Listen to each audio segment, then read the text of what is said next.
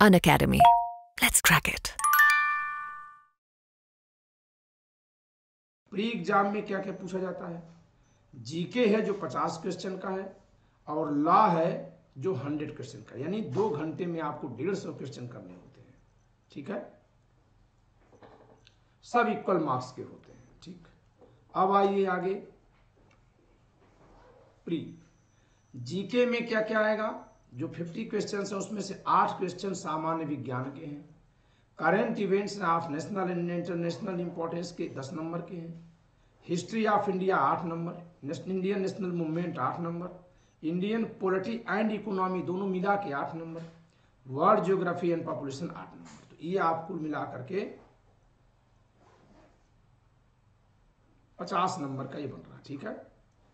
फिर इसके बाद लॉ में चार विषय आते हैं, हंड्रेड मार्क्स के। पाँच हैं चार हैं।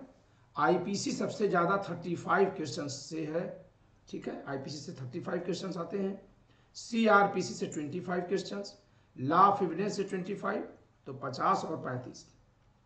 एट्टी फाइव हो गए, पच्चीस पच्चीस, पचास थर्टी फाइव एट्टी फाइव हो गए। पंद्रह क्वेश्चन आते हैं इन दो से, पुलिस एक्ट 1861 ये सेंट्रल लॉ है। उत्तराखंड में जैसे आपने पुलिस एक्ट पढ़ा है, वो ऐसा नहीं है।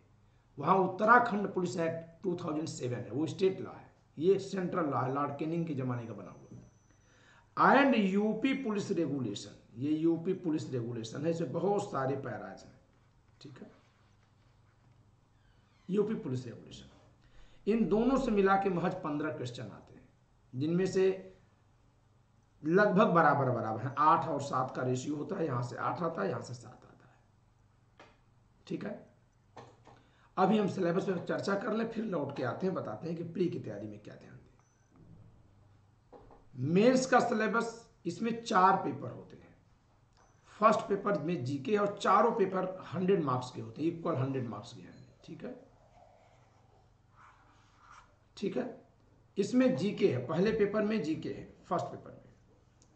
दूसरा जनरल हिंदी है, बहुत अच्छे लेवल की जनरल हिंदी आती है। इस नाते आप इसको ज़रूर ध्यान से पढ़िए अभी से। इसकी तैयारी आप हॉच पॉच में नहीं कर पाएँगे। तीसरे पेपर में क्रिमिनल लॉ है, जिसमें क्या क्या है IPC CRPC police act and UP police regulation.